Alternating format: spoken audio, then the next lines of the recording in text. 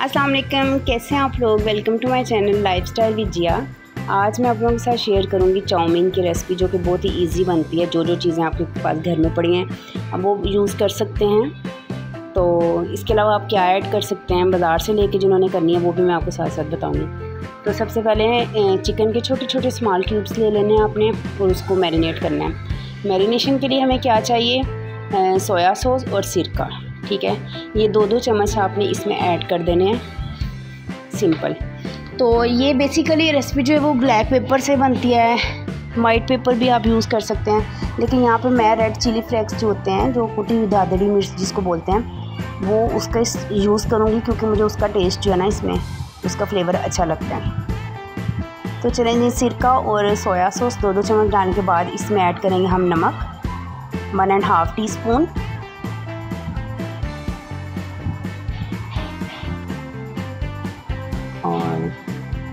यहाँ पर camera set कर रही थी मैं। चले जी। और यहाँ पे जाएगी कुटी हुई लाल मिर्च, ठीक है? वो भी आपने अगर बहुत ज़्यादा स्पाइसी खानी है तो आप उस हिसाब से अपने टेस्ट के अकॉर्डिंगली इसमें ऐड कम या ज़्यादा कर सकते हैं, ठीक हो गया? अब इसको मिक्स करते हैं। और इसमें जाएगा लहसुन पाउडर ठीक है? वो तकरीबन आपने one and half teaspoon इसमें ऐड कर देना है।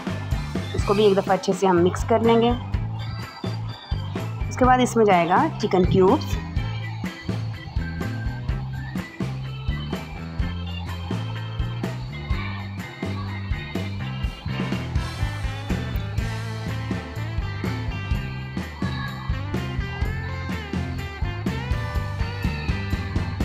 अब इस पॉइंट पे हम इसमें एक और चीज़ ऐड करेंगे, ये है मीठा सोडा। ये तकरीबन एक चुटकी जो है ना, मैंने थोड़ी सी बचा ली थी, एक चुटकी आप इसमें ऐड कर दें बस, और इसको मिक्स कर दें।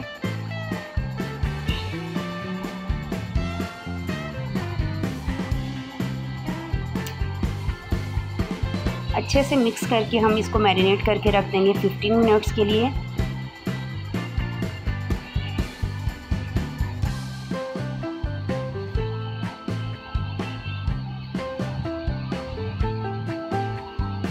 चलें जी, इसको कवर कर देते हैं। फ्रिज में रखने की ज़रूरत नहीं, इसको बाहर ऐसे बस कवर करके छोड़ दें। अब दूसरी साइड पे हम सॉस तैयार करेंगे जो कि चाउमीन सॉस कहलाती है। तो यहाँ पर मैं चिली सॉस जो है वो ऐड कर हूँ। उसके बाद इसमें मैंने दो चम्मच सोया सॉस ऐड किए हैं और दो चम्मच विनेगर के ऐड करूँगी। ठीक हो गया? और इसमें जाएगा गार्लिक चिली सॉस उसके बाद इसमें तिल का तेल जाता है, जो कि मेरे पास अवेलेबल नहीं था, वो आप ऐड करेंगे। इसमें तकरीबन हाफ़ टी स्पून और एक ऑस्टर सॉस होती है, वो भी ऐड करेंगे वन टी स्पून अगर आपके पास नहीं है तो ऐसे भी टेस्टी बना था, बस मैंने तो उसके बगैर बना लिया। बाकी इसमें जाएगी कुटी लाल मिर्च मैं ऐड करूँगी। इस पॉइंट पर भी आप ब्लैक पेपर ऐड कर सकते हैं। और नमक जाएगा। अच्छी सारी चीज़ों को मिक्स करके एक साइड पर रख देंगे हम।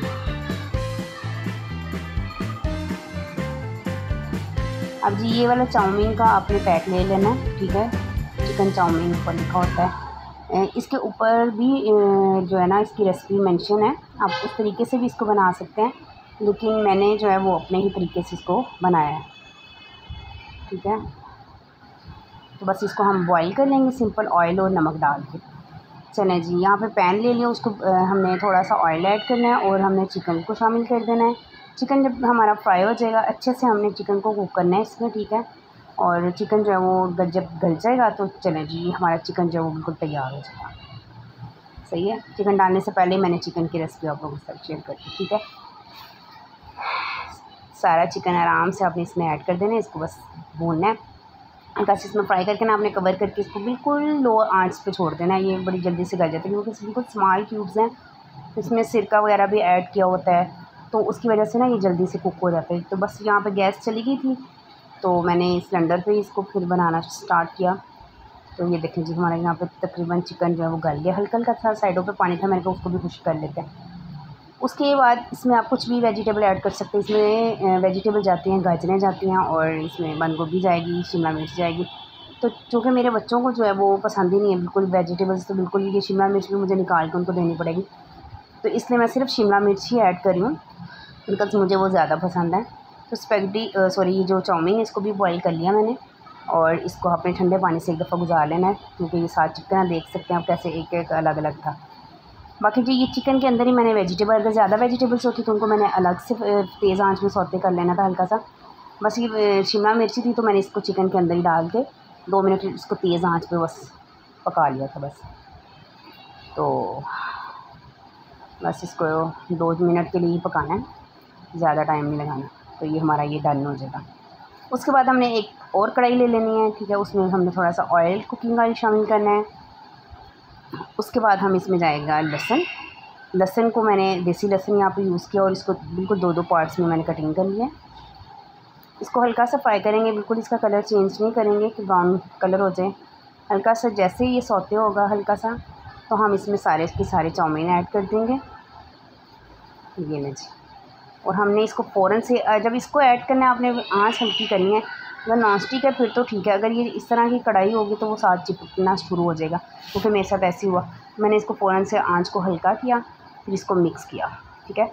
इसको एक से दो मिनट के लिए आपने मिक्स करना है। उसके बाद इसमें चिकन और ये वेजिटेबल ऐड कर देनी है। उसको एक दो दफ़ा हिला के मिक्स कर लेना है, अच्छे से। उसके बाद जो हमने सॉस बना के रखी हुई थी, चाउमीन की, वो सारी इसके अंदर ऐड कर देनी है। सॉस के साथ अब इसको पकाएँगे हम। एक से दो मिनट के लिए बस इसको पकाना है, ज़्यादा। बस कुक है फाइनली ये लुक देख सकते हैं, बहुत ही मज़े की और बड़ी जल्दी बन के तैयार हो जाती है ये रेसिपी और टेस्ट भी अच्छा था। देख सकते हैं आप। तो बस अब इसको केचप के साथ सर्व करें। केचप ज़रूर लगाइएगा केचप के साथ ज़्यादा मज़ा आता है। गार्लिक केचप ले लें। कनौर वालों का ले लें तो बहुत ही टेस्टी लगता है। तो बस कैचअप डाल के ज़्यादा सारा जिन्होंने स्पाइसी खाना है, वो डाल के खा सकते हैं। सो गाइज़ होपफुली आज की वीडियो भी आपको अच्छी लगी होगी। मेक श्योर वीडियो को लाइक कर दें चैनल को भी सब्सक्राइब कर दें और अपने प्यारों के साथ शेयर करें। अल्लाह हाफिज़।